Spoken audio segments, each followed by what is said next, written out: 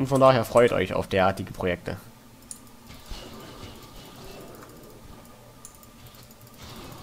Und dann, wenn irgendwann Titan Quest noch vorbei ist, kann ich vielleicht sogar zwei 3DS-Projekte parallel laufen lassen, je nachdem, was ich als Nachfolger von Titan Quest quasi aufnehmen möchte. Da muss ich mir noch was überlegen. Vielleicht wird es auch ein PC-Game, mal gucken. Das muss ich dann wirklich so entscheiden. Da habe ich mir jetzt tatsächlich noch gar nicht so wirklich Gedanken drüber gemacht. Ich möchte ja auch ein Let's Play Again von Dark Messiah machen. Das wird ein relativ kurzes Ding natürlich, weil Dark Messiah nicht so ein langes Spiel ist. Das könnte ich so zwischenschieben. Als Lückenfüller. Mal gucken. Das wird auf jeden Fall kommen, aber wann es kommen wird, das weiß ich jetzt noch nicht so ganz.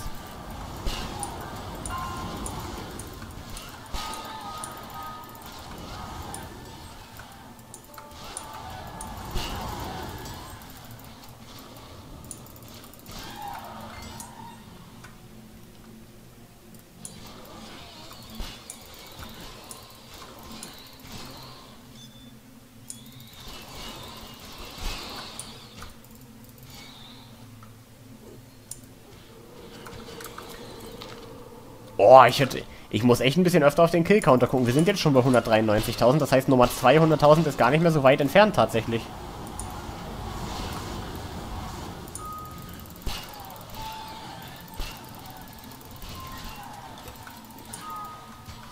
Der Heilungstrank war ein bisschen unnötig.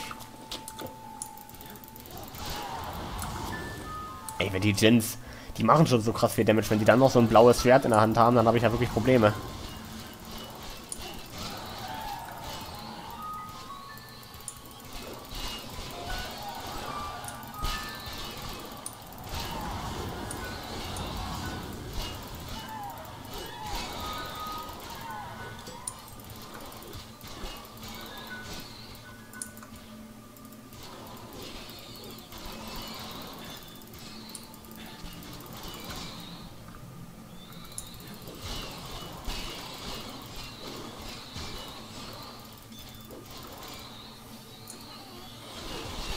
Dämonenblut werde ich jetzt mal nicht mitnehmen, weil das ist nicht wirklich relevant für uns. Und ich habe ja, wie ihr seht, schon Inventarplatzprobleme. Dann nehme ich dann nur noch das wirklich Wichtige mit.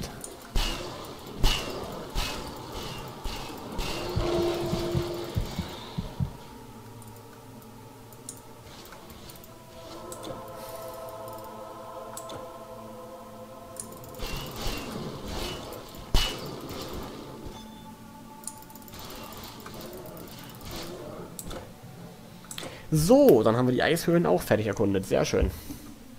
Bis zur Mauer können wir noch machen, wa? Was sagt er? Dann beende ich die Aufnahmesession, wenn wir bei der Mauer sind. Dann haben wir eine gute Dreiviertelstunde oder sowas aufgenommen. Sind dann wiederum drei Parts.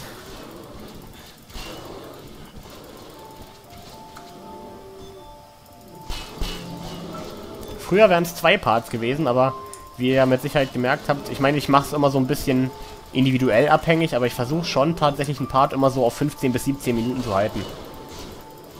Ist von der Länge her einfach, glaube ich, angenehmer anzuschauen, finde ich zumindest persönlich. Und ich mache meine Videos ja so, wie ich sie mir persönlich auch gerne angucken würde. Hinsichtlich verschiedener Kriterien und deswegen mache ich das so. Der Himmel lacht den Reisenden an. Die Erde trägt sanft seine Füße. Tag und Nacht sind ein seichtes Lied das der große Geist singt. Tschüss dann. Wenn du meinst, Digga. Was auch immer du sagst.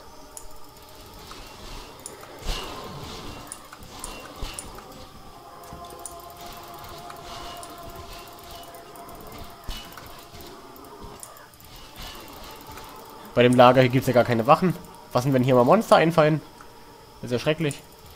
Überhaupt nicht geschützt. Aber gut, das ist ja auch kein Lager in dem Sinne, sondern nur ein Händler und ein Typ, der auf dem Stein steht. Ich schätze mal, die müssen sich dann selber zu helfen wissen, falls es abgeht.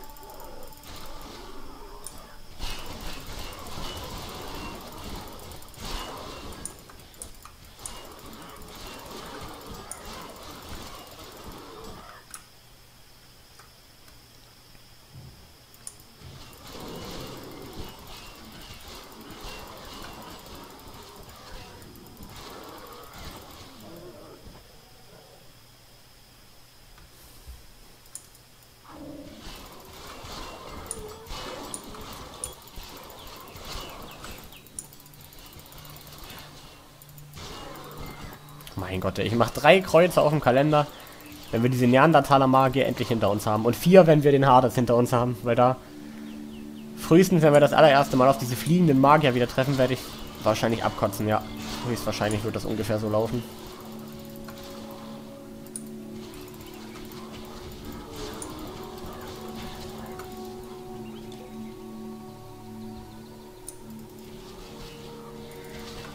Aber gut, wir sind hier jetzt wirklich im Endspurt quasi. Ne, wäre unser ganzes Titan Quest Let's Play, was wir zusammen durchgemacht haben, ein Buch, dann wären wir jetzt auf den letzten Seiten. Langsam, aber sicher. Und das schaffen wir jetzt auch noch.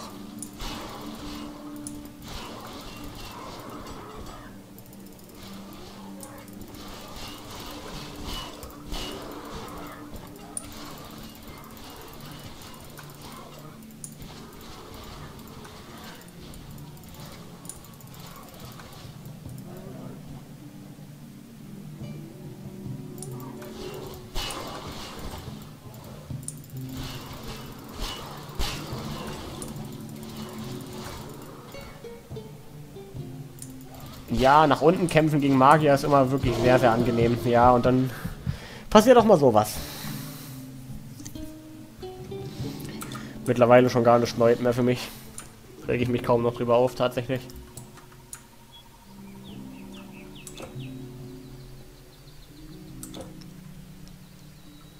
Na, vielleicht auch nicht mehr bis zur Mauer. Vielleicht noch, stimmt, da kommen ja davor noch diese Lager mit den Tigermenschen. Die machen wir nicht mehr in diesem Part. Nur noch bis zum Brunnen genau davor und dann geht es im nächsten Part weiter. Dann können wir auch die Mauer in einem Zug durchmachen.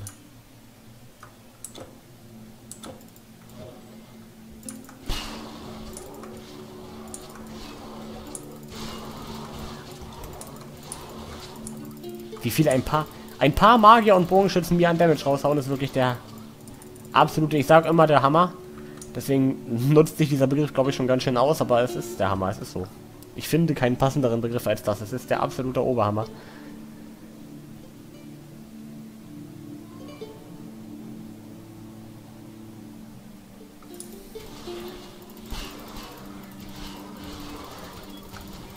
Mir fällt sowieso gerade auf, dass ich auch ein bisschen Hunger gekriegt habe, deswegen mal ganz schnell gleich was essen gehen. Umso besser, wenn ich die Aufnahme hier gleich beende, wenn wir hier fertig sind mit dem kleinen Gebiet hier noch.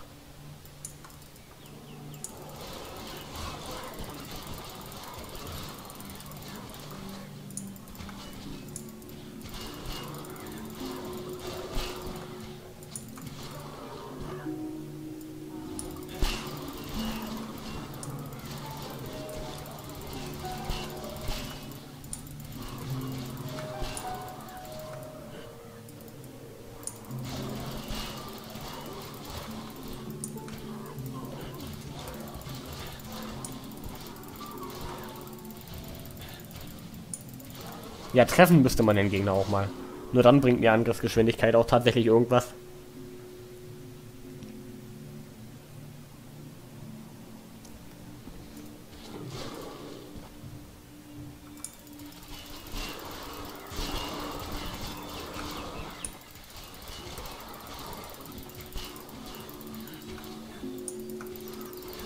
Ach, kam hier tatsächlich noch mehr? Ich dachte tatsächlich, der nächste Brunnen ist gar nicht mehr so weit weg. Aber ich glaube, dieses Jahr, genau nach diesem Gebiet hier, kam der nächste Brunnen. Okay, ja, dann machen wir das Gebiet hier auch definitiv jetzt noch.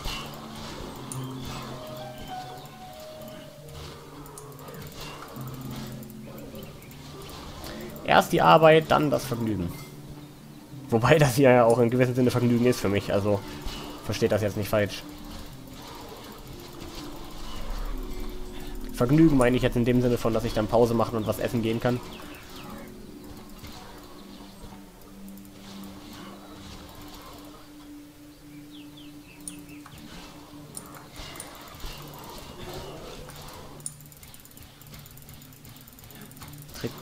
17 draußen stehen und einfach reinballern. Dann treffen wir sie, wenn sie hier ranlaufen und sie treffen mich nicht, weil sie erst aus der Höhle rauslaufen müssen.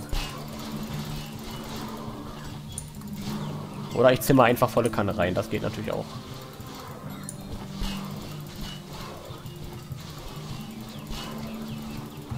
Wenn ich sie gut treffe, dann reicht das auch aus.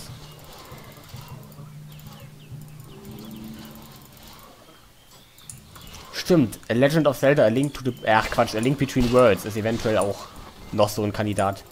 Auch da kenne ich das Spiel und weiß so die ungefähren Abläufe und wo was ist, aber es ist auch schon lange her, dass ich entweder ein komplettes Let's Play davon gesehen oder es sogar selber gespielt habe. Das ist schon ein bisschen länger her. Auch da würde ich eventuell eines Tages ein Let's Play in Frage ziehen. Auch das ist ein unfassbar mega awesome Spiel, meiner Meinung nach. So diese Spiele, die so, so teilweise gute und teilweise schlechte Bewertungen gekriegt haben, diese 2012, 2013, 2014 äh, Nintendo 3DS Spiele, das sind irgendwie so die Spiele, die wirklich, ich meine, das hat auch wirklich mit Nostalgie und Kindheit und so weiter zu tun, die mich aber am meisten geprägt haben und die ich einfach awesome finde. Und das wird sich auch niemals ändern.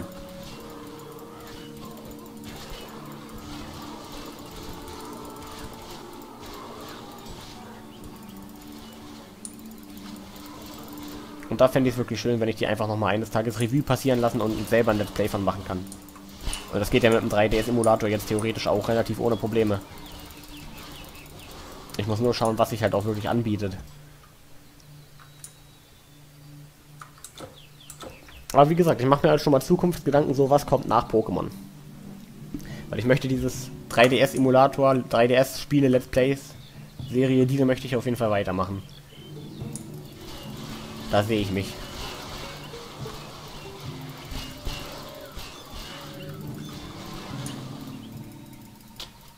Und zwei legendäre Raptor-Zähne. Ja, 45 Angriffsqualität, leck mich doch. Das brauche ich doch für überhaupt nichts. Also, klar, erhöht das die Chance auf kritische Treffer und dass man überhaupt erstmal trifft. Ja, aber... Ach komm, das ist lame. Das ist wirklich unfassbar lame, dass die mich auch one-hitten. mm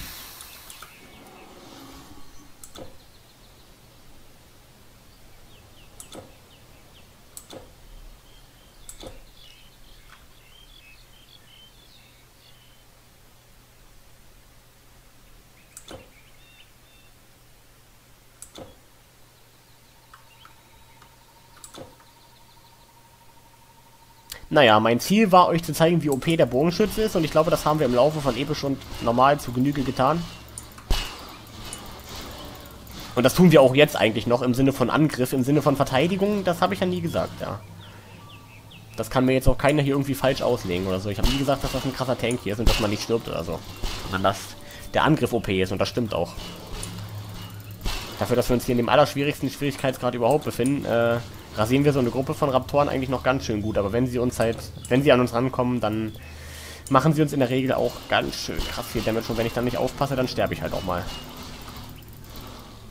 Aber gut, ist jetzt nicht so schlimm. Gut, und damit sind wir in der äußeren Mongolei angekommen. Huch, da kommt noch einer nach. Ich bedanke mich also recht herzlich fürs Einschalten. Wir sehen uns hier das nächste Mal wieder. Bis dahin, Leute, und ciao.